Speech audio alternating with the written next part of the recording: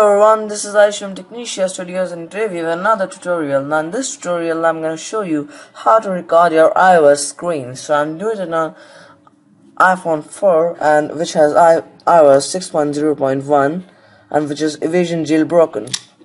So for this you need to download Display Recorder and the second tweak you have download is Activator.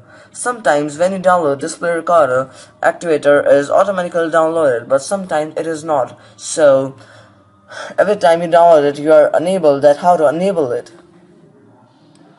I said you are unable to how to enable it. So let's see. First of all, go to Cydia.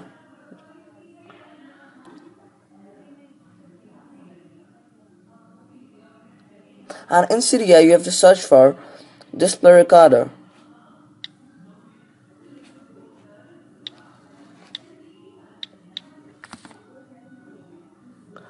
you can see the display recorder as it's a paid paid tweak if you want to buy it you can buy it but if you want it for free you can see my tutorial which will uh, which I'll give you a link in the description uh, to how to download paid tweaks for free so you have to download this display recorder and uh, after that you have to download activator oh, I don't know what is it So now you have to search for activator.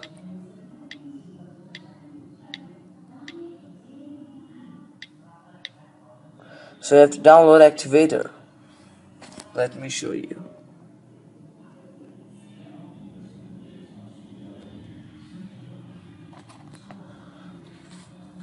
So after that you just have to go to activator. You need to select any options. Suppose I've selected anywhere and in anywhere uh, I've selected shake device to toggle recording. As you can see it is currently assigned to toggle recording. But you can assign other uh, other motion or other buttons like or gestures to toggle the recording suppose you can also uh, you can also let long hold uh, the home button to assign toggle recording. You can just scroll down and see toggle recording here to start up your recording. So I have shake device so uh, you have to just shake your device sorry so after shaking it will give you a pop-up about display recorder start recording or set record. So as you can see the display is recording. So to stop recording you have to do oh I'm so sorry.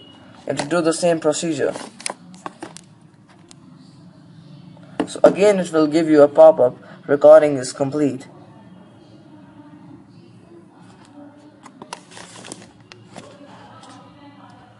so after that you have to go to recorder.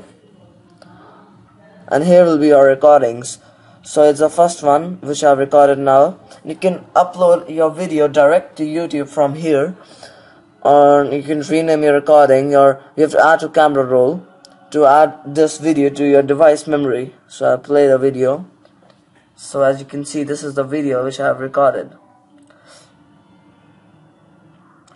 so thank you for watching this video and stay tuned for more video and tutorials